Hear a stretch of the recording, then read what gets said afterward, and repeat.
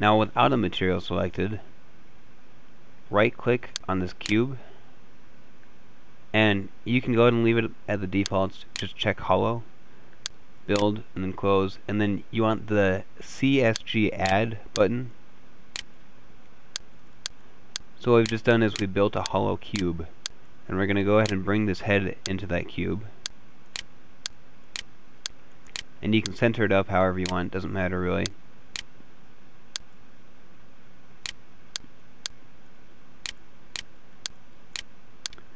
Alright, and right now there's no lighting in here. So, let's go ahead and add a light. You can press and hold L to add a static light. And static means that it can't move at all. Or you can go here under actor class, under lights, point light movable, and you can add that. And that'll be a dynamic light that you can move around in Matinee.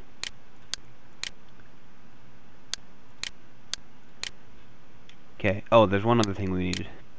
Go to actor class, common, camera, and add a camera. Hit this little I button, and then click on your camera. And now, anywhere you move your viewport, you will also move your camera. So the camera is attached to my viewport right now, so we can set the starting position of our camera. Okay, now hit that little I again to turn it off, don't forget that. And here's where my camera moved. Alright, let's open up Kismet. Right click and go to New Matinee. Double click on that.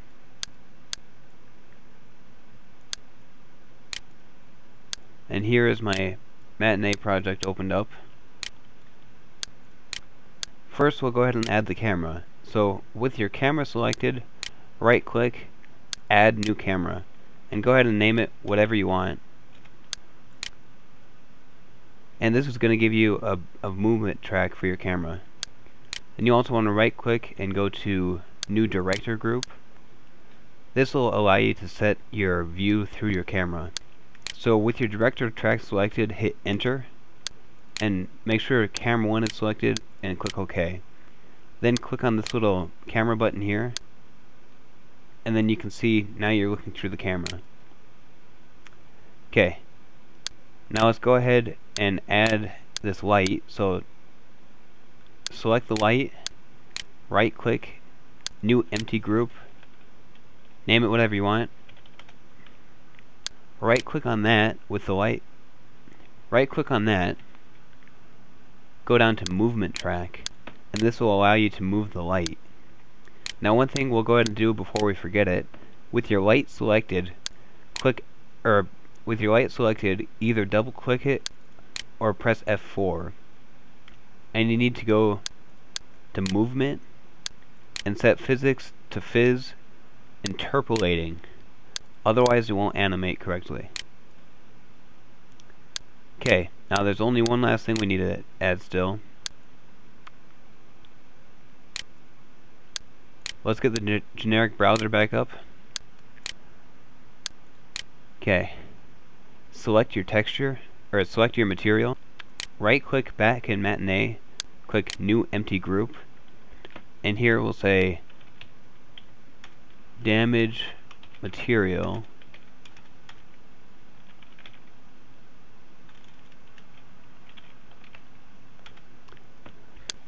Now, with that selected, right click on it and say new float material param track.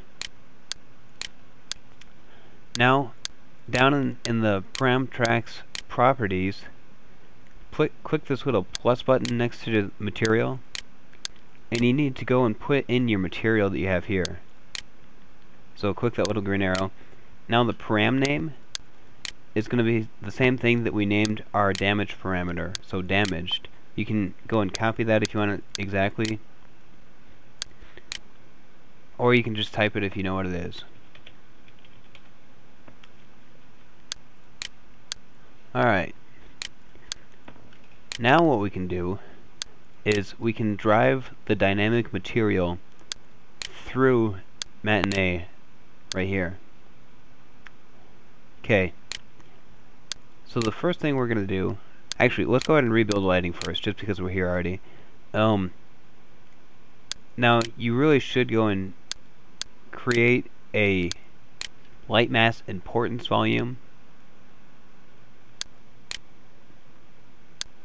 Oh, and mine seems to have gotten off a little bit.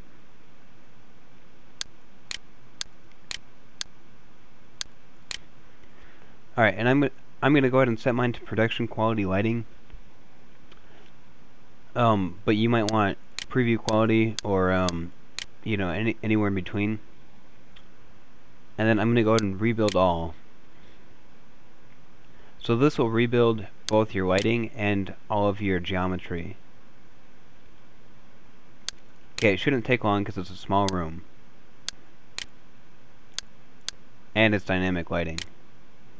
Alright, so now let's go back into our matinee project. And let's give the camera a simple animation here. So click on movement.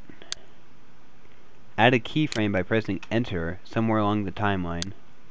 And then anywhere you move this camera, it will interpolate between the two.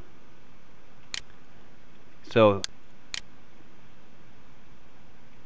alright, that's our camera animation right now. And while we've got movement selected, let's go ahead and turn on quat interpolation. Um, sometimes, uh, if you have that turned off, it'll just get a little screwy. I don't know. So, alright, so now we've got a simple camera movement. Alright, so now let's let it sit there for about a second and then move back. So what we have to do, you have to do to get a keyframe that's like any of the others you have, you have to go and click on it and then press enter again to create a new keyframe. And then while pressing control down and holding it you can drag that keyframe out to wherever you want it. So now our camera comes out here pauses for a second and then it'll head on back to where it started. So you can either press play or hit the spacebar then it'll play through alright now, about the time when our camera stops to pause, go down to your material parameter and press enter. And then let's add another one at the end here. Now, if you right click on that, you can go set value and this will set the value of our parameter within our texture. So let's change that to 1. Oh, my parameter name is off a little bit. Okay, so damaged. Yep, here we go. Now look at this. Now that's why the parameter name is so important. You have to make sure it's exact. Now that we've got that, with this value being 1 over here, watch this.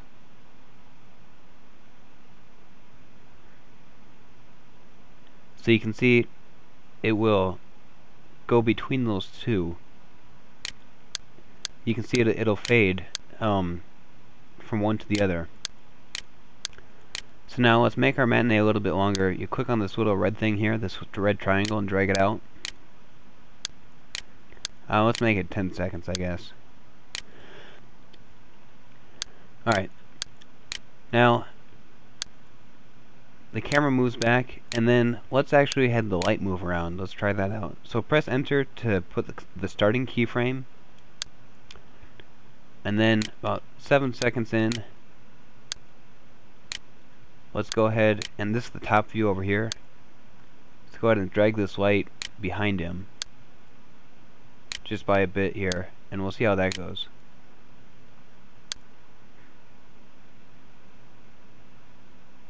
Alright, so there the light goes.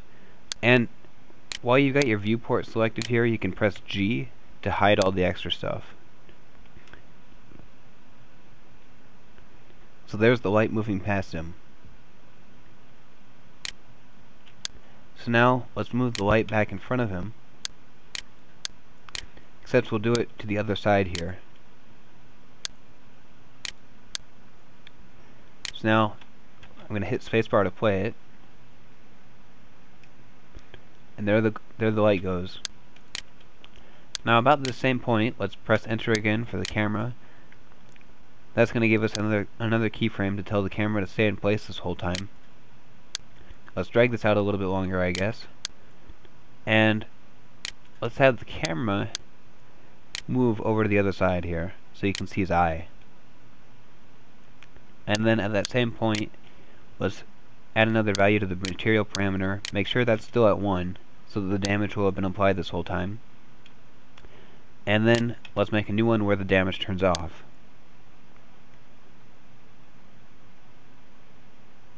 There we go.